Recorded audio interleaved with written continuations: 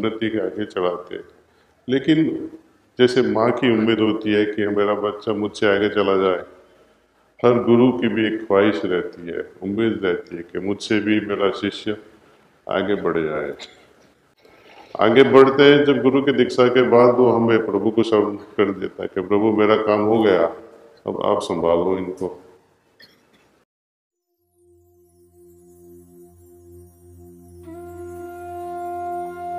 राष्ट्र संत टुकड़ोजी महाराज का जन्म महाराष्ट्र के यावली गाँव में 1909 में हुआ। उनके माता पिता ने उनका नाम माणिक देव रखा। बचपन से ही उनकी रुचि अध्यात्म और योग में रही।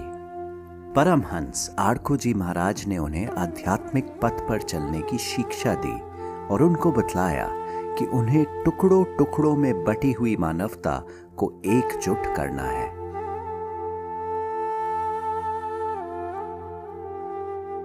इसीलिए माणिक देव से वे टुकड़ो जी महाराज बन गए।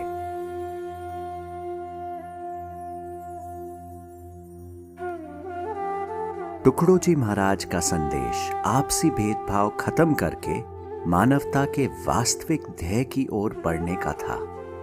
इसके लिए उन्होंने हृदय की पवित्रता बनाए रखने पर ज़ोर दिया। सोचते ही रहेंगे तो हम यहाँ रह जाएँगे। तेरे दरबार में आना है, पूरी ज़िंदगी तक रटते रहेंगे। दरबार आना है, दरबार आना है, दरबार आना है। बट वो सही में क्या है दरबार? उसके बारे में हम कैसे सोचें? हमने सोच लिया कि ईश्वर है, मेरे हृदय में सर्वव्यापी है, सर्वज्ञानी है, सर्वशक्तिमान है। लेकिन सर्वव्यापी उन हमने महसूस किया है, सर्वशक्तिमान है उसका महसूस किया है। सर्वज्ञानी है उस चीज़ को हम कैसे जान सकते कि वो सर्वज्ञानी है? तो सोचने से तो शुरुआत है। आगे क्या? उनका अनुभव करना है, महसूस करना है उनका। और दरबार और कहीं नहीं है, अपने हृदय में ही है। हमारे अंदर बैठा हुआ वही ईश्वर है, उनके बिना हम जी नहीं सकते। सामाजिक कार्यों में भी राष्ट्र संत टुकड़ो जी महाराज ने एक अहम भूमिका निभाई। अपना संदेश उन्होंने भजन लेखन और गायन से लोगों तक पहुँचाया। उन्हीं के शब्दों में, गुरुदेव सदगुरु आड़को जी ने कृपा सिंचन किया। तुम भी भजन लिखते रहो, आशीष ये मुझको दिया।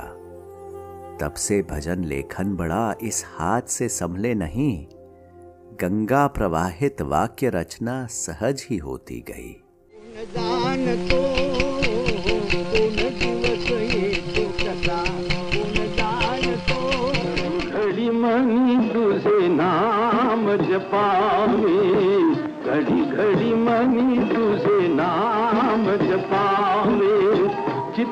चित्त स्थिर बोनी चरण पहावे चरण पहावे घड़ी घड़ी मनी तुझे नाम जपावे घड़ी घड़ी मनी तुझे नाम जपावे राष्ट्र संत टुकड़ो जी महाराज का मानना था कि संपूर्ण मानवता वास्तव में एक है। उन्होंने महाराष्ट्र में गुरुकुंज आश्रम की स्थापना करी, जो कि एक आदर्श गाँव बन गया। आश्रम के मुख्य द्वार पर ये शब्द लिखे हैं। इस मंदिर का द्वार सबके लिए खुला है। हर धर्म, हर पंथ के व्यक्ति का यहाँ स्वागत है। देश और विदेश के हर व्यक्ति का स्वागत है। 1968 में राष्ट्र संत टुकड़ो जी महाराज ने स्थूल शरीर त्याग दिया। परंतु उनका संदेश आज तक पूरी मानवता के लिए प्रेरणा स्तोत्र है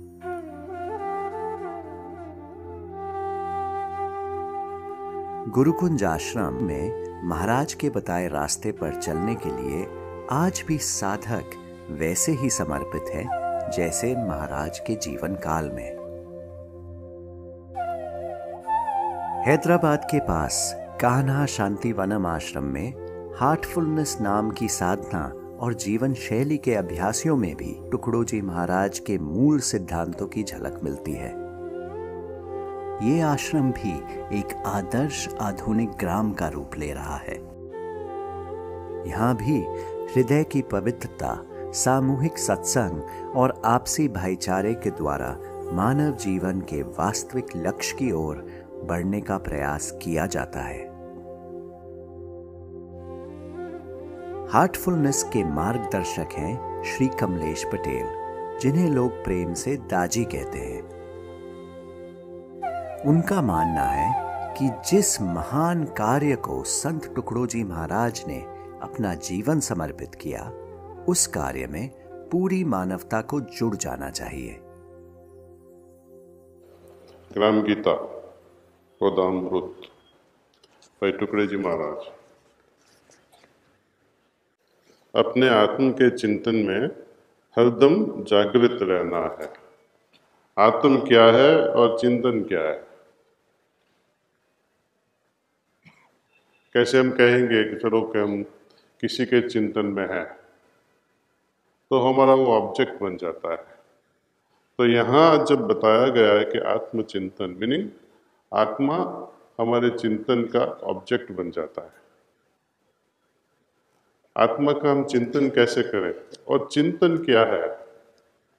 जो चित्त से बन, हो सकता है, उसको चिंतन कहते हैं। और चित्त क्या है? वो हमारी चेतना है। चेतना को जागृत रखे हुए हमें करना है। सोए सोए हम आत्मा का चिंतन तो नहीं कर सकते। आँख खुली है, फिर भी कई लोग जागृत नहीं है। जागे हुए भी अंदर से वो सोए हैं। कभी हम गुस्सा करते हैं, हम जानते हैं गुस्सा नहीं करना है, झूठ नहीं बोलना है, चोरी नहीं करनी है। वो तो खुली आँखों से होता है। तो आप जागृत कैसे रहे? कहा जाएँगे? जो चोरी करता है, वो सोई हुई हालत में करता है। जो जागृत आदमी कभी ऐसा नहीं कर सकता। तो अपने को सभान करना है। अपनी चेतना को जगाना है।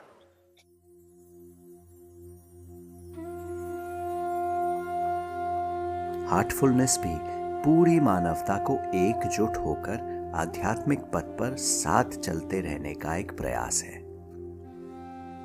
जीवन का एक ही उद्देश्य है। जब पिताजी अपने को बाहर भेजते हैं जब कुछ करके आ उनका ध्येय क्या होता है, तू कुछ बन के आ अच्छा बन के आ। कुछ करके दिखा, अपने पाँव पे खड़ा हो जा तुझसे। तो ईश्वर भी यही चाहता है, जब हमारा सृष्टि का सृजन हुआ और जब हम वापस जाते हैं तो वही का वही बेवकूफ़ जाएगा तो वो रोएगा भगवान बोलेगा, इसलिए मैंने तेरे को भेजा था। कुछ बन के जाओ जिनको देख के ईश्वर भी खुश हो कि या मेरी औलाद है मेरी पैदाइश है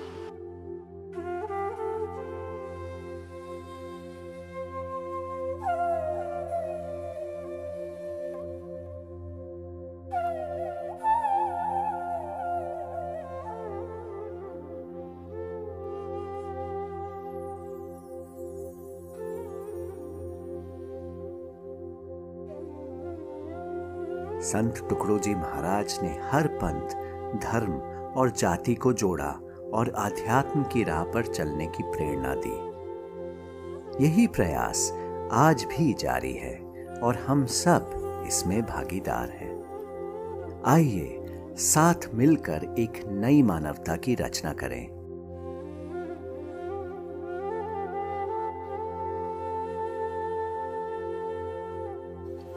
तो ईश्वर से मेरी यही प्रार्थना है कि हम सब साथ चलें और उनके साथ जल्द से जल्द